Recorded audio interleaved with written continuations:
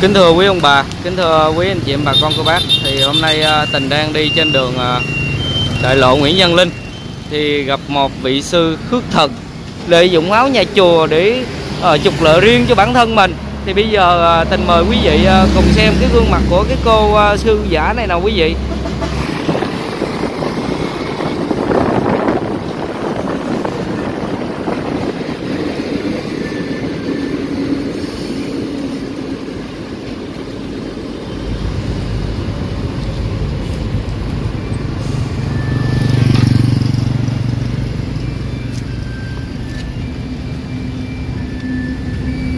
Chào cô ha. Cô nhớ con không? Sao cô nói với cô con về quê rồi? Dục quê mà mà không có tiền để chi về con. Nè cô ha, con tên Tình. À, Quý vị khán giả biết tên mình tên gì luôn ha cô ha? Tên mình lên nè, cho quý vị khán giả biết tên mình luôn. Nguyễn Thị Chính Nguyễn Thị Trinh hả, năm nay nhiêu tuổi? 66 tuổi. Quê ở đâu? Hà Tĩnh. Rồi, con gặp cô ba lần rồi ha. Lần nào con cũng cho tiền cô hết Giờ có một cái lần anh Lê Thân Thiện gặp cô, anh Lê Thân Thiện cũng cho tiền cô nữa à. Đúng rồi đó. Giờ cô nói cô về quê, giờ, giờ sao còn ở đây? Không có tiền. Không có tiền gì anh Thiện cho tiền cô, giờ mà cô nói không tiền gì nữa.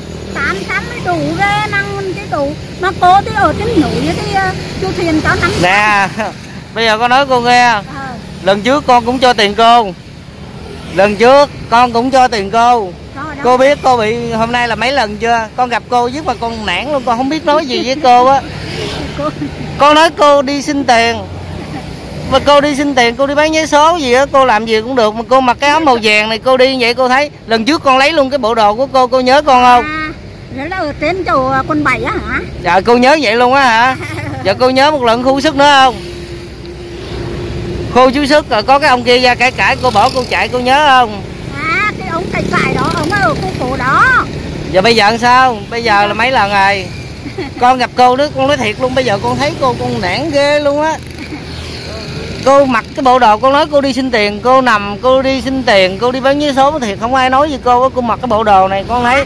Giống như là ở nhà con ai cũng ai cũng tu hết á Mà con thấy cô mặc cái bộ đồ như vậy con thấy nản luôn á. Cô không tu sao cô mặc cái bộ đồ này anh chi? Cô mặc đi vừa để con cố kiếm tiền ăn qua ngày được tháng Ăn qua ngày gì nè? Con nói cho cô nghe luôn Con biết cô tên gì Nhà của cô ở đâu luôn? Phải quê cô ở Hà Tĩnh không? Phải nhà cô là hai tắm không? Con cô có xe hơi không? Con nói cô nghe cái cô ở kế bên nhà con á à, Biết rõ về cái ngọn nguồn của cô luôn. Cô đừng có nói như vậy. Người ta gọi vô trực tiếp Người ta nói cho con như vậy. Con nói cô không biết con của cô giàu có làm sao mà để cô đi làm vậy mà con không biết luôn á con con cô nó con con nuôi con đi, đi, đi. Nuôi con cái gì mà nuôi con? Ảnh giàu như vậy mà để cô làm như vậy? Trời ơi nhà mấy tắm mà đi làm vậy? Nè con nói không có sai đâu. Con biết con của cô tên gì luôn á. Cái cô đó nói với con nó không có sai một chi tiết nhỏ nào luôn. Cả một cái làng của cô á Ở ngoài đó đi vô đây toàn là đi giống như vậy không nè. Cô nói cô cô làm xấu cái giờ xấu mặt của cái dân ngoài Hà Tĩnh lắm luôn á. Ở ngoài người ta có nhiều người tốt lắm người ta làm việc thiện mà bây giờ cô đi vô đây cái cô nói cô dân Hà Tĩnh vậy cô nói cô làm bôi bác cái dân Hà Tĩnh không trong khi đó mấy cô bác ở anh Hà Tĩnh á nè mạnh thường quân của con hỗ trợ con cũng nhiều từ dân Hà Tĩnh nè người dân Hà Tĩnh nè. con rất là tôn trọng mọi vùng miền. Nhưng mà cô đi làm cái cô nói dân Hà Tĩnh Hà Tĩnh. Trời ơi cô làm vậy coi được không? Con của cô có tiền có của vậy mà để cô đi làm vậy ảnh ảnh nghĩ sao vậy? Không nuôi cô không nuôi cô thì làm sao thì cô không phải đi ra sao? Đừng có nói không nuôi cô. Trời ơi cô đi vô một năm cô về một lần ai mà không biết? Không có. Rồi không biết. Trời ơi là trời. Bây giờ đi về hay đi đâu vậy? Đi về. Đi về xong ngồi ở đây? Thì đi đây đi xuống đấy á trời ơi con cái gì đâu giàu có mà để mẹ đi làm vậy? Con nói cô nghe cô đi bán giấy số cô đi xin bình thường không ai nói gì cô á. Cô đi phụ quán cô cũng đâu có tới 70 tuổi đâu lần đầu cô gặp con cô nói cô 70 tuổi. Cô 66 rồi gần 70 rồi. Sáu đâu mà 66 cô lấy chứng minh cho con coi coi. Chứng minh cô không có cô nói dối với con con nói thiệt với cô luôn á. 66 tuổi cô còn một trời ơi sáu gì mà 66 cô giỏi lắm chừng 55 tuổi à. Trời ơi. Trời ơi sinh năm năm lắm á tứ á. Bây giờ cô có tu không? Cô nói con nghe coi cô có tu không? cô không có tu cô không tu bộ đồ bữa hổm con lấy bộ đồ này ở đâu nữa? Vô đâu đi cô xin cho đâu không ai cho cô xin á cô qua quận 5 cô mua đúng không? Quần nắm anh chứ cô có việc quần nắm đâu. Cô muốn mua như bộ gửi con con mua cho. Rồi cái túi này ở đâu nữa? Cái túi của cô nè.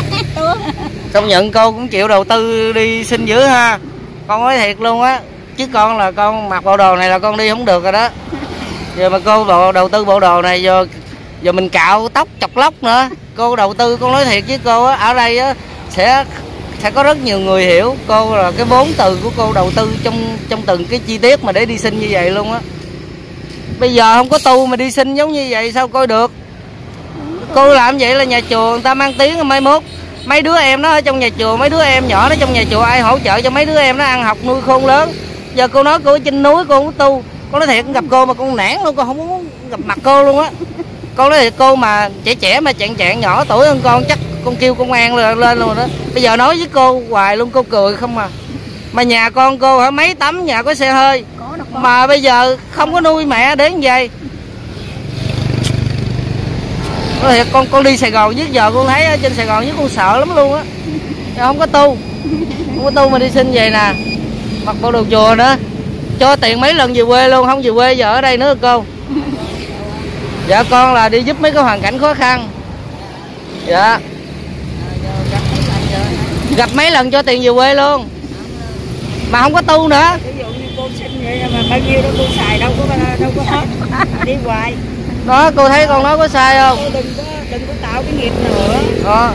làm như vậy là mất cái danh tiếng nhà chùa. Con nói cô nghe nhà chùa là nè ngồi ngồi xuống đi ngồi xuống đi. Rồi ngồi xuống đi đừng có đi đâu hết. Con nói cô nghe cô biết cái nhà chùa là nuôi biết bao nhiêu em nhỏ một coi không? Tụi nó phải đi học giờ tụi nó phải ăn uống sau này tụi nó làm măng non của đất nước. Mà bây giờ cô làm mặc cái áo giống như vậy ai ai nè con nói cô nghe nè. Ai ai mà giúp đỡ nhà chùa để cho mấy đứa nó em nó ăn học? Cô cô xin về cô cho ai? Trời xin về xài cá nhân chứ cho ai không có tu gì hết á. Mà nhà con cái ở nhà có tiền nữa. Có tiền. Trời đất ơi người dân ngoài quê gọi vô tới trong con nói luôn mà.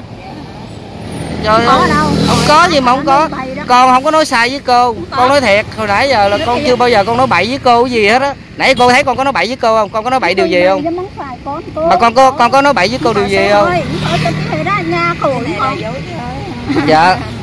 Đó giờ cô thấy nè bây giờ cái đoạn đường này nè lỡ nè đây là đại lộ Nguyễn Văn Linh nè nha quý vị khán giả. Lỡ mà có đại sứ quán của nước bạn hay là của bên à, à, Anh hay là Úc hay là nước Mỹ qua thăm Việt Nam giờ đi nói á, là thấy sư nè. Đó, một cái hình ảnh rất là tôn kính ở Việt Nam. Rồi đi ngồi ngoài đường, xin tiền giống như vậy, đi ngoài đường khước thực giống như vậy. Mà bây giờ con nói cô cô biết mấy giờ chưa nữa? Mấy giờ rồi? Mà cô ngồi cô xin vậy. Nè 11 giờ nè, quý vị khán giả, tình có nói sai đâu. Mà cô ngồi cô xin vậy. Rồi mấy đại sứ quán nói là thôi, đất nước mình sao không chăm lo mấy phật tử mà để mấy phật tử đi ngoài đường vậy? Trời ơi, cô làm xấu mặt con nói thiệt luôn. Con nói chuyện với cô mà bây giờ với cô phát nản luôn á con bữa lần trước cái cô nói cô cũng đưa con bộ đồ. Giờ cái cô đưa con cái túi. Bây giờ cái cô sắm thêm cái nón nữa. Cô cũng đầu tư dữ luôn, con nói thiệt, chưa có ai mà đi mà đầu tư mà nhiều như cô vậy luôn á. Bây giờ quá chừng luôn. Phải nói cái đầu tiên là phải đi xin là ai ai, cô sao mà cô can đảm để mà cô đi cô cạo chọc lóc cái tóc mình luôn, cạo chọc đầu luôn vậy? Sao cô can đảm như vậy?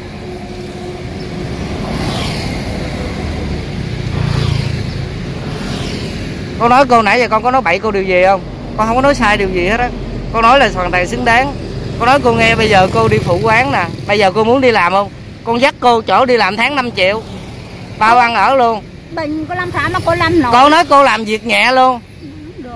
Con hứa với cô nếu mà con nói sai con chịu hoàn toàn trách nhiệm. Làm việc nhẹ nhàng luôn. Lương tháng 5 triệu. Ở một cái chạy chó của bạn con cô chỉ cần là đem đồ ăn cho, cho chó thôi. Có chỗ ngủ có chỗ ở cho cô thoải mái vô tư luôn lương tháng 5 triệu. Cô có muốn không? Con hứa với cô luôn. Trời ơi trời nè. Cô coi cái ông chú nè. Người ta chạy đi bán vé số nè. Còn cô cô mặc cái đồ sư cô đi xin tiền vậy coi được không? Không có tu gì hết mà làm vậy sao được? Thôi thì thôi mai mốt chú lấy cho con mấy tờ chú. Lấy cho con năm tờ. Nè thấy người ta không ốm yếu nhỏ con nè. Cái chú nè. Mà người ta đi tôi người ta đi bán vé số nè. Chú lấy cho con năm tờ chú cái nào cũng được hết. Nè con. trời ơi bây giờ xin luôn vé số con luôn nữa kìa. Để à, con năm tờ đi mừng may Vận may gì nhà con cô giàu như vậy mà cô đi xin tiền giống vậy. Trời ơi còn xin con giấy số nữa quý vị. Chú lấy cho con 50 ngàn đi. Rồi. Con gửi chú 20 ngàn uống cà phê Chú lấy giúp 20 ngàn đi con gửi chú 20 ngàn. Nè lấy chú lấy đi chú lấy đi Đó. Nè nhìn cái chú bán giấy số kìa Người ta ốm yếu vậy người ta đi bán kìa. Còn cô Cô không có tu gì hết mà cô đi lấy tiền vậy Cô đi xin tiền. Bây giờ xin giấy số nữa đúng không? Giờ chừng nào về quê? Giờ hả chắc à, chắc thì thằng này đó cô về nữa hết tháng này là tháng này.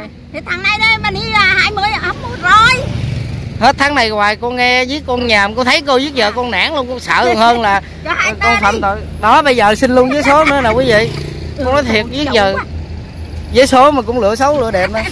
Đó có 5 tờ giờ cũng xin hai tờ nữa. Giờ sáng xin được nhiêu tiền cho khán giả coi coi. Cất tiền dẫn đâu hết rồi. Đâu có đây nè đứng đi đấy nè.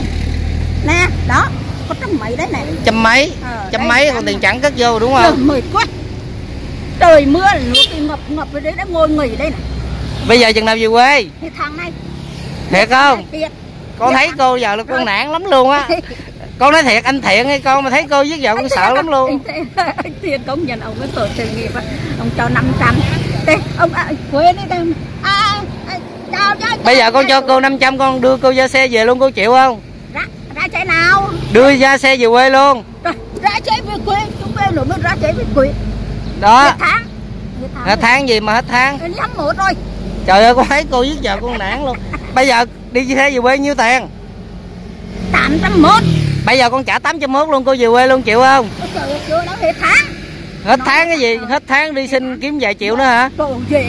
Một ngày bốn năm triệu chứ nhiêu. Trời ơi con nói thiệt luôn á. Nè.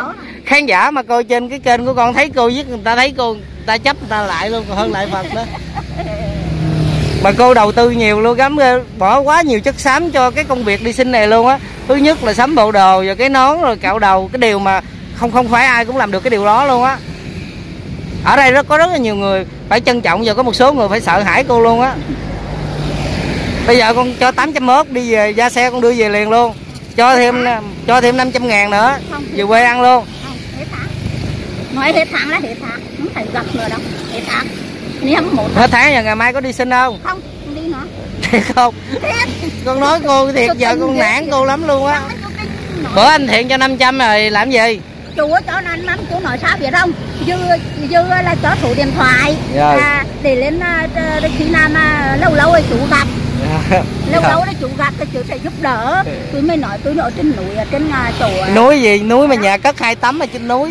Đi bà không. Nó bậy đó. Nó bậy đó cái cô đó gọi cho con không có nói sai một chữ gì cô luôn á. Cô gọi để, để, để, để cho, cho chủ ghi cái số điện thoại để tôi tôi qua cái cô đó cho. Trời đất ơi là trời. Đây à, đây chủ mới mới cho tôi 500 cái chủ mới nói sao biết không chủ này. Bay bay ra. Cái này nó đang con bay bay con con chào con bây giờ con cho cô một triệu rưỡi luôn con đưa cô ra xe về liền luôn. Không thế sao mình về bây giờ nếu mà cô về quê con cho cô một triệu rưỡi đi xe 801 con cho một triệu về quê ăn luôn. Không hết tháng. Là hết tháng là hết tháng. Ừ, ừ, hết tháng. Hết tháng là khoảng à, ba mươi. Con nói thiệt bây giờ cô nói cái gì cô, cô với người ta nản luôn. Bây giờ cô nhìn vô con nè cô nói hứa đi chừng nào cô về? Hết tháng. Hết tháng là tháng mấy? Tháng này nè hết tháng này bên hai một rồi nè. Rồi nói đi tôi tin gì hết tháng này tôi về nói đi. Rồi. Nói đi À, tôi Nguyễn Thị Trinh. Rồi. Rồi à, à, bạn ngày 21 à, là 21 tháng 10 à, tháng đầu tháng à, 11 tôi trở về quê. Rồi xong. Hứa nói là phải hứa làm nha. rồi rồi. Rồi quý vị khán giả chứ bây giờ cái tình hình của cô này là con nản lắm luôn rồi quý vị khán giả. Giờ tháng này ha. Rồi. Chứ giờ gặp con nản lắm. Rồi. Giờ- rồi chào quý vị khán giả thì cô này cũng hứa như vậy chứ giờ tình thấy tình cũng nản quá không biết làm gì luôn á giờ công an mà kêu tới công an thấy cô này công an cũng cũng cũng nản luôn. Không biết nói gì. Ừ, ừ, giờ chai quá rồi chịu hết nổi rồi. Rồi chào quý vị khán giả chúc quý vị khán giả một à, ngày xem cái video này mắc cười. Còn hơn là đi câu hài nữa quý vị. Rồi có